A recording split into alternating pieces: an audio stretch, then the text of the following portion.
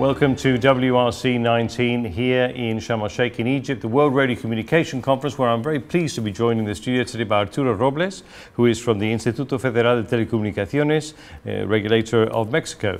Welcome to the studio.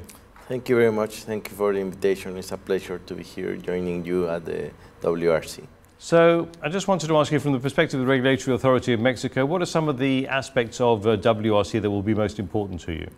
Well, for, for us, one of the most important issues here in, uh, for the conference is to be very active uh, for the spectrum planning for the uh, long term and for the next year, because there in Mexico, the national regulator have the, they are in charge of planning uh, spectrum and to define which will be the, the next bands that will be released. Uh, there in Mexico, we, are, we have a, a, network that is unique in the world called uh, Wholesale Network, and every, everybody is watching us in order to know if it is a good idea. Right now, uh, we are having very good results there, and in the other bands, obviously, we are uh, uh, hoping that we will have a very, very good experience in order to planning the worldwide spectrum. Now, a lot of work has gone into the preparation of this meeting. I wanted to ask you, in terms of the, the study groups, what uh, uh, is their relevance, do you think, uh, for the industry as well as uh, for, for, regulators? Well, for us, and I think for all the countries, these uh, study groups they are uh, one of the main and most important e works and, and uh, tools in order to, to be, to be uh, coordinated in all over the regions, in all over the countries, because uh, as, a, as a member of the United Nations and uh, as an organism of the United Nations, it is a, very democratic and good uh, uh, form in order to get the consensus and in order to could coordinate the worldwide spectrum that, as you may know is one of the main issues right now with our digital world and, and the, our digital economy. What are the main challenges facing Mexico in terms of connectivity?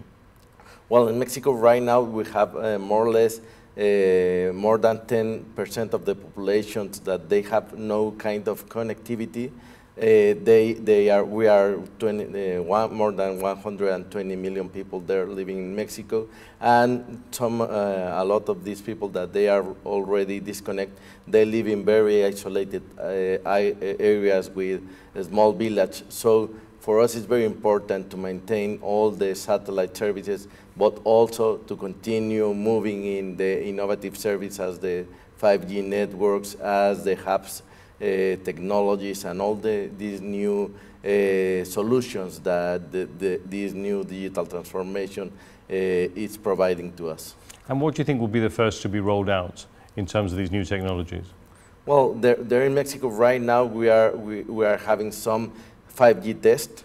Uh, besides that, we are having very good uh, results in order to connect this village with uh, the K-band satellites there are some of these uh, uh, small villages that the, the commercial uh, satellite operators, they are going there even a decade ago or uh, 10 years ago, there's no interest of any operators to go there, and right now they are finding uh, profitable and, and uh, feasible options there in order to provide connectivity.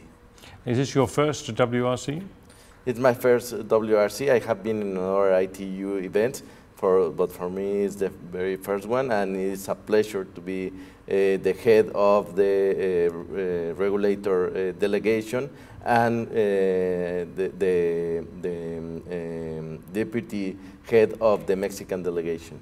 Excellent. Well, we wish you the very best here at uh, WRC 19. Uh, it's, a, it's, a, long haul, but uh, I'm, I'm, sure everybody will come out uh, with, a, with a, a consensus and, uh, and, and hopefully getting the results that they want.